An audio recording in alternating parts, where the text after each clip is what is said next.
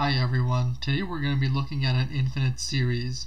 It's going to end up telescoping and our method is going to be telescoping plus something called partial fraction decomposition. So let me tell you what the problem is.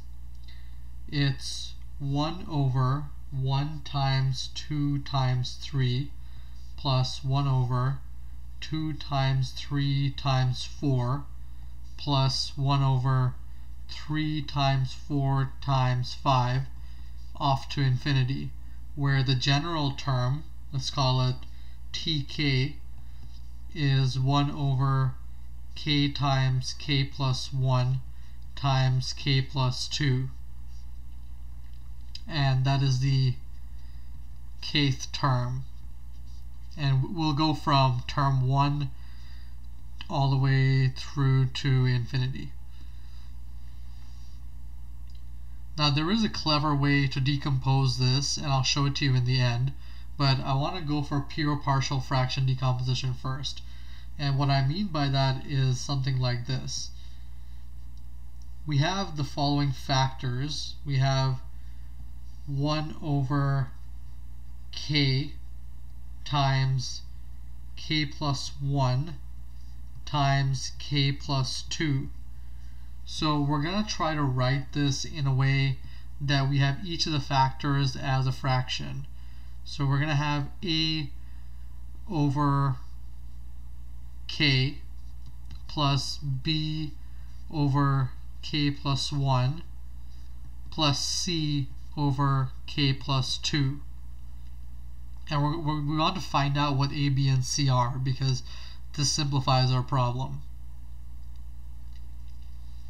What we'll do is clear the denominators.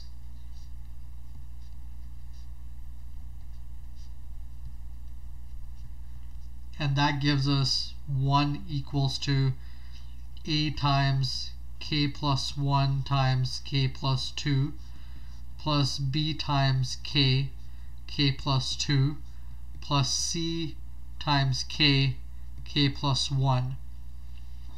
Now what I want you to notice is that we can make pairwise terms disappear by subbing in k equals to 0, k equals to 1, and k equals to 2. I'll show you each of these in detail. So if we have k equals to 0, then we have 0 here and we have 0 here. So all we're left with is 1 equals to 2a and that implies that a equals to 1 over 2 and I just want to make it clear this is not entirely rigorous because we're substituting in values which make these denominators 0 but it does end up working out. So we're sort of using a, a pseudo rigorous method. Now for k equals to 1 we have that this goes to 0 and this goes to 0 so we're left with 1 equals to b with a coefficient. Let's find out the coefficient. It's going to be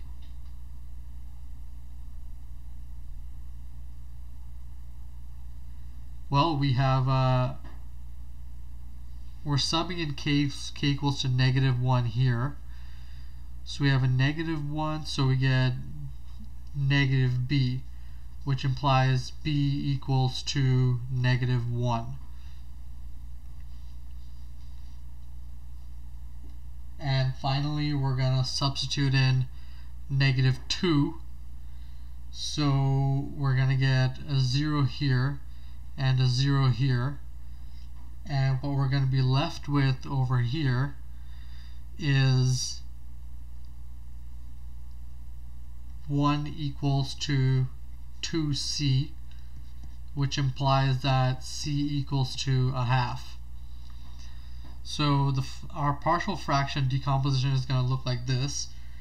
tk is equal to 1 over k times k plus 1 times k plus 2, which is equal to, we're going to factor out a half, so we get 1 over k minus 2 over k plus 1 plus 1 over k plus 2.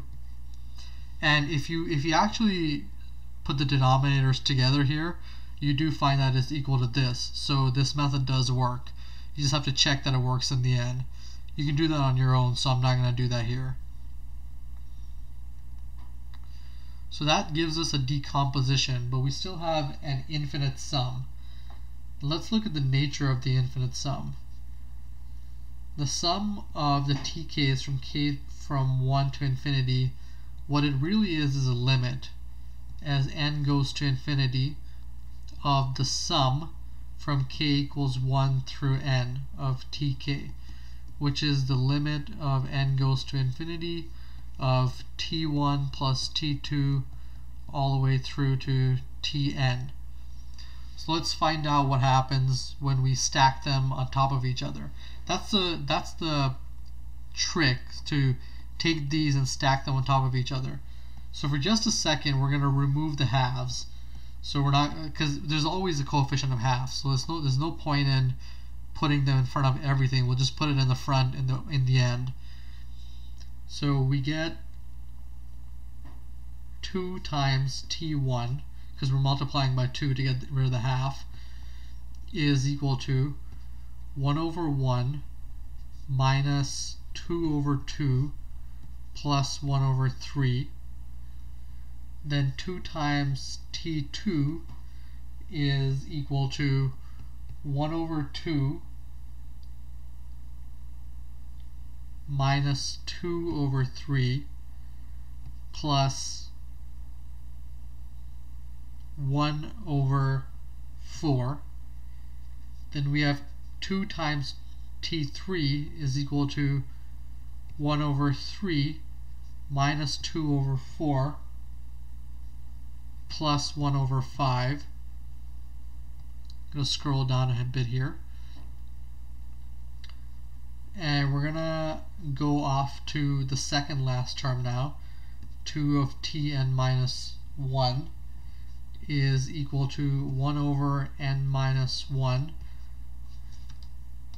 minus 2 over n plus 1 over n plus 1 and we have 2tn is equal to 1 over n minus 2 over n plus 1 plus 1 over n plus 2. Now what I want you to notice is the following. We have diagonals.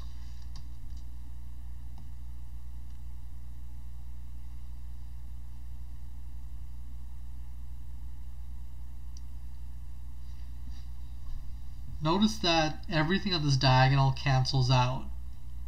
If we were to write 2 times t4 here, we would get 1 over 4 minus 2 over 5 plus 1 over 6.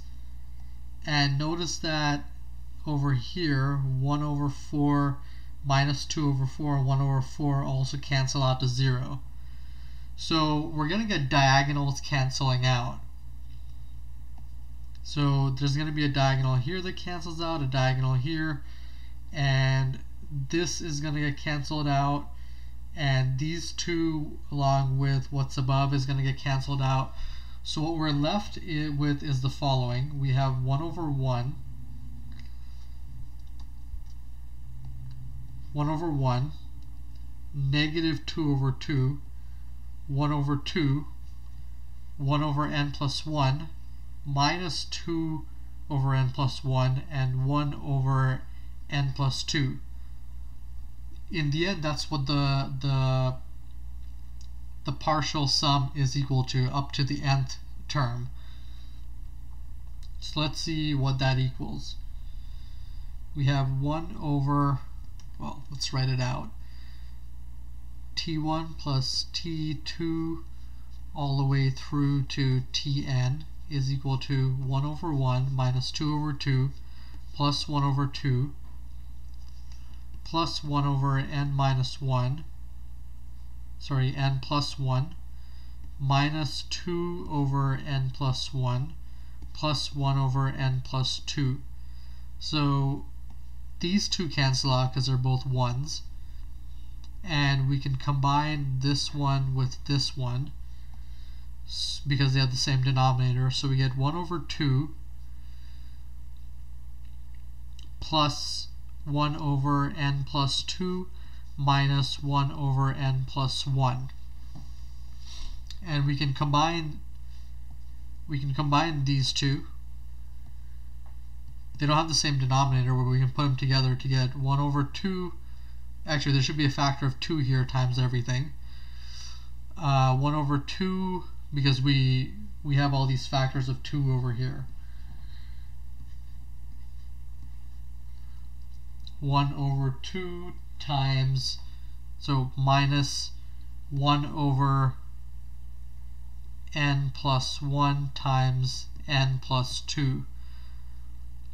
So t1 all the way through to tn is equal to 1 over 4 minus 1 over 2 times n plus 1 times n plus 2 and that goes to 1 over 4 as n goes to infinity.